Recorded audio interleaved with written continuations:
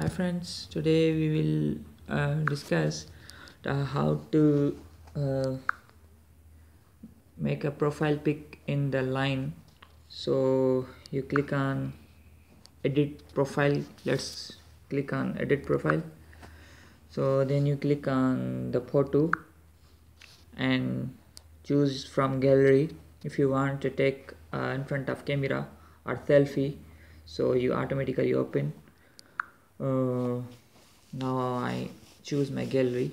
So I select my this pictures for DP and select anyone if you want be some changed. When so it's uploading. It's a really nice messenger and friends I have already other uh, videos Uh, and other technologies. So must be watch my all videos. That's are very knowledgeable and must be subscribe my videos and give me a suggestions. Thanks for watching my video. Bye bye